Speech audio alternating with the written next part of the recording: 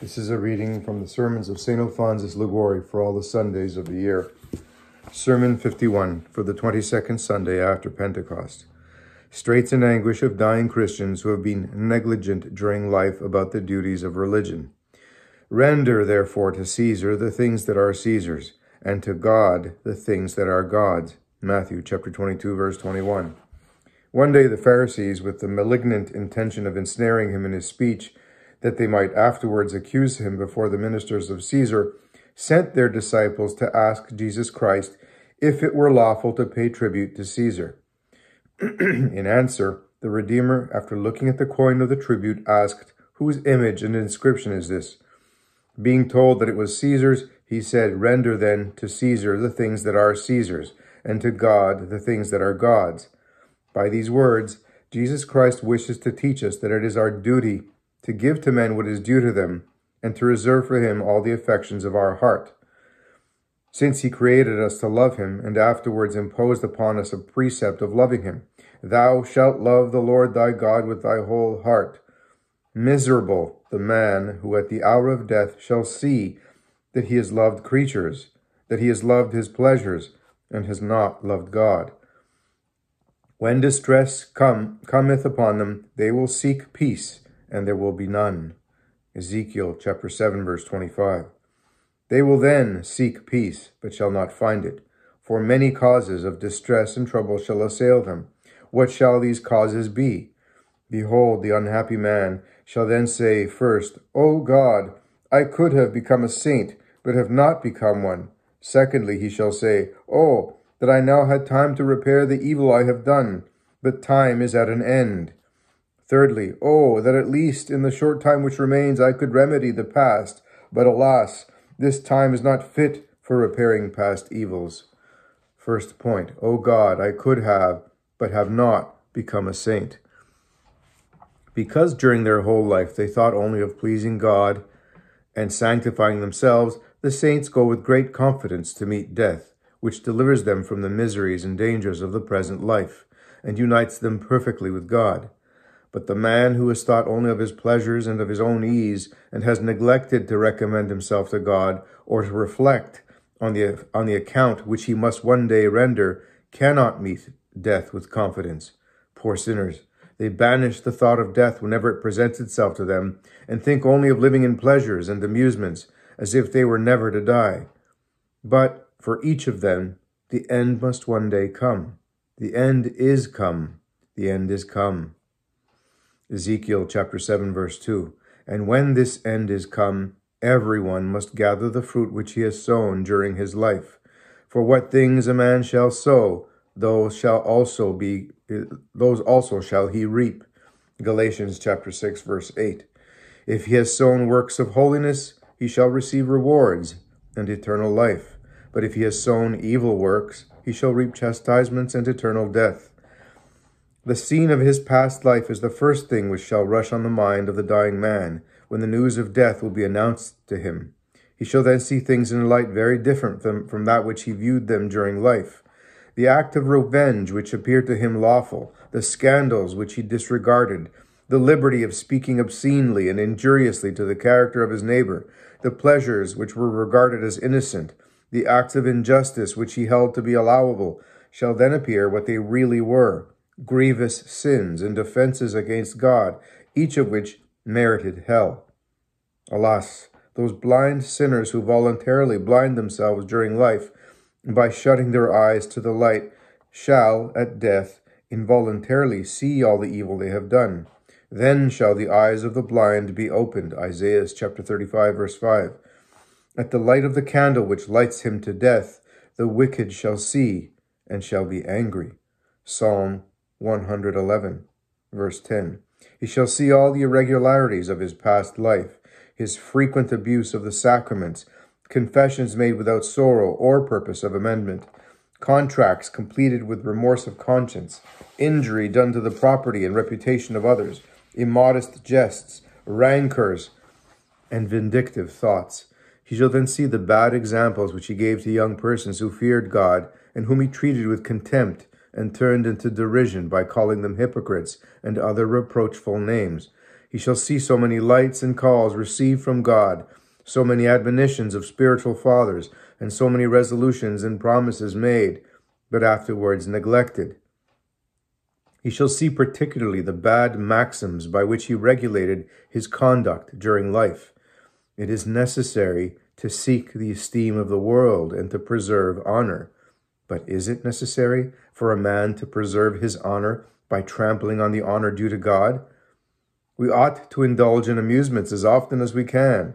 But is it lawful to indulge in amusements by insulting God? Of what use to the world is the man who lives in poverty and has no money? But will you, for the sake of money, lose your soul? In answer to these questions, the sinner says, No matter what can be done. If we do not make a fortune in the world, we cannot appear among our equals. Such the maxims of the worldlings during life. But at death he shall change his language. He shall then see the truth of that maxim of Jesus Christ. What doth it profit a man if he gain the whole world and suffer the loss of his own soul? Matthew chapter 16 verse 26. Unhappy me, the worldling shall exclaim on the bed of death. I've had so much time to tranquilize my conscience, and behold, I am now at the point of death, and I find my soul burdened with so many sins. What would it have cost me to have broken off such a friendship, to have gone to confession every week, to have avoided certain occasions of sin? Ah, very little. But though it should have cost me a great deal of pain and labor, I ought to have submitted to every inconvenience in order to save my soul. Salvation is of greater importance to me than the dominion of the entire world. But alas, the sentiments of negligent Christians at death are as fruitless as the sorrows of the damned, who mourn in hell over their sins as the cause of their perdition, but mourn in vain. At that time they derive no consolation from their past amusements or pomps, from their exalted dignities, or from the humiliation of their rivals. On the contrary, at the hour of death, these things, like so many swords, shall pierce their hearts. Evils shall catch the unjust man unto destruction. Psalm 139, verse 12. At present, the lovers of the world seek after banquets, dances, games, and scenes of laughter and joy. But at the time of death, this laughter and joy, as St. James says, shall be turned into mourning and affliction. Let your laughter be turned into mourning, and your joy into sorrow. St. James chapter 4, verse 9. Of this we see frequent examples. A young man who entertained his compa uh, companions by sallies of wit and by immodest jests is seized with a severe illness. His friends come to see him and find him overwhelmed with grief and melancholy. He indulges no more in jests or laughter or conversation. If he speaks at all, his words are words of terror or despair. His friends ask why he speaks so despondingly. Why is he so melancholy? Have courage, they say. Your illness is not dangerous. They endeavor to inspire hope and cheerfulness, but he is silent. And how can he be cheerful when he feels his conscience burdened with many sins, sees that he must soon, soon appear before Jesus Christ to give an account of his entire life, and that he has much reason to fear that he shall receive the sentence of eternal death? He will then say, O fool that I have been! Oh, that I had loved God! Had I loved him, I should not now find myself in these straits, in this anguish. Oh, that I had time to tranquilize the troubles of my conscience. Let us pass to the second point. Second point. Oh, that I had time to repair the evil I have done, but now time is at an end. Oh, that I had time, he will say, to repair the past. But when will he say this? When the oil in the lamp is consumed, when he is on the point of entering into eternity, one of the greatest causes of the distress and, uh, distress and anguish of the careless Christian at the hour of death is the remembrance of the bad use he has made of the time in which he ought to have acquired merits for heaven, and in which he has accumulated merits for hell. Oh, that I had time! Do you seek for time? You have lost so many nights in gaming, and so many years in indulging the senses, without ever thinking of your soul. Now you seek for time, but time is no now no more. Time shall be no longer. Apocalypse chapter 10, verse 6. Were you not already admonished by preachers to be prepared for death? Were you not told that it would come upon you when you least expected it? Be you ready, says Jesus Christ. For at what hour you think not, the Son of Man will come. Luke chapter 12, verse 40. You have despised my admonitions and have voluntarily squandered the time which my goodness bestowed upon you in spite of your demerits. But now time is at an end. Listen to the words in which the priest that assists you shall tell you to depart from this world. Proficere, proficere anima Christiana de hoc mundo. Go forth, Christian soul, from this world. And where shall you go? To eternity, to eternity. Death respects neither parents nor monarchs. When it comes, it does not wait even for a moment. Thou hast appointed his bounds, which cannot be passed. Job chapter 14, verse 5. Oh, what terror shall the dying man feel at hearing the assisting priest tell him to depart from this world? What dismay shall he experience in saying within himself, This morning I am living, and this evening I shall be dead. Today I am in, in this house, tomorrow I shall be in the grave, and where shall my soul be found? His terror shall be increased when he sees the death candle lighted, and when he hears the confessor order the relatives to withdraw from his chamber and to return to it no more. It shall be still more increased when the confessor gives him the crucifix and tells him to embrace it, saying, Embrace Jesus Christ and think no more of this world. He takes the crucifix and kisses it, but in kissing it, he trembles at the remembrance of the many injuries which he has offered to Jesus Christ. He would now wish to repent sincerely of all his injuries to his Savior, but he sees that his repentance is forced by the necessity of his approaching death. He, says St. Augustine, who is abandoned by sin before he abandons it, condemns it not freely, but through necessity. The common delusion of worldlings is that earthly things appear great, and that the things of heaven, as being distant and uncertain, appear to be of little value. They regard tribulations as insupportable, and grievous sins as unimportant. The miserable beings are as if they were shut up in a room filled with smoke, which hinders them from seeing objects before their eyes. But at the hour of death, this darkness shall vanish, and the soul shall begin to see things in their real colors. At that hour, all temporal things appear to be what they really are vanity, lies, and deception, and the things of eternity assume their true value. Oh, how important shall judgment, hell, and eternity, which are so much regarded, disregarded during life, appear at the time of death. According as these shall begin to put on their true colors, the fears of the dying man shall increase in morte, says St. Gregory, tanto timor fit acrior, quanto retributio vicinior, et quanto vicinius judicium tangitur, tanto vehementius formidatur. More 24. The nearer the sentence of the judge approaches, the more sensible the fear of condemnation becomes. Hence the sick man will say, Oh, in what anguish do I die? Unhappy me! Oh, that I knew that so unhappy a death awaited me! You have not known it, but you ought to have foreseen it, for you knew that a good death could not be expected after a wicked life.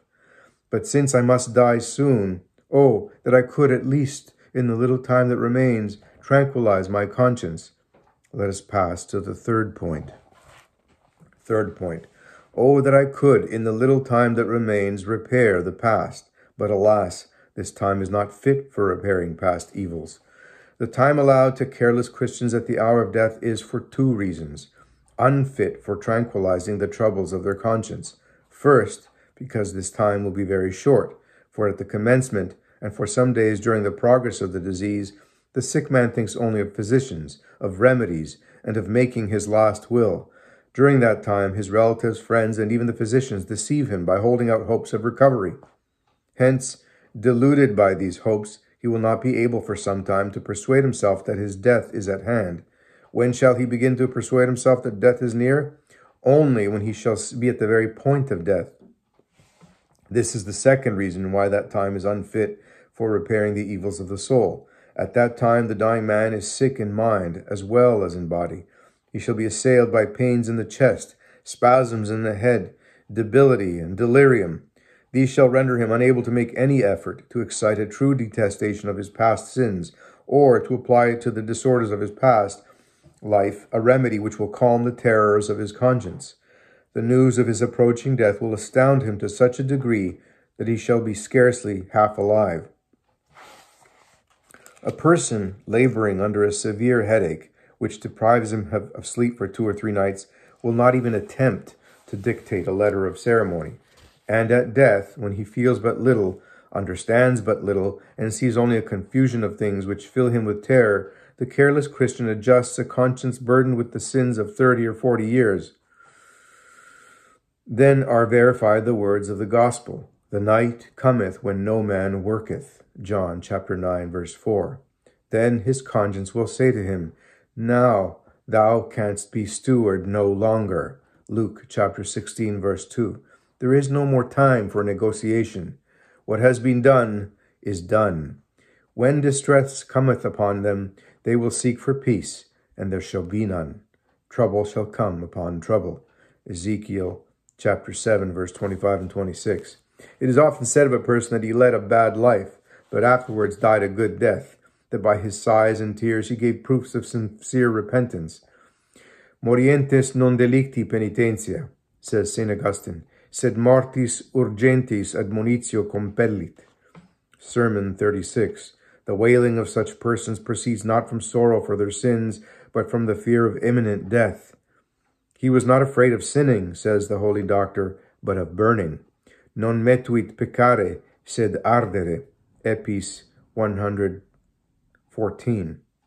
Till this moment, the dying man has loved sinful objects. Will he now detest them?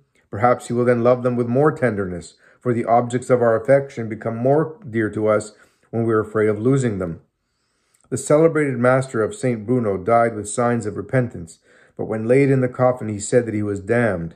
If at the hour of death even the saints complain that on account of the state of the head they think but little of God, or make but little effort to excite good acts, how can the negligent Christian make these acts at death, when he was not in the habit of making them during life?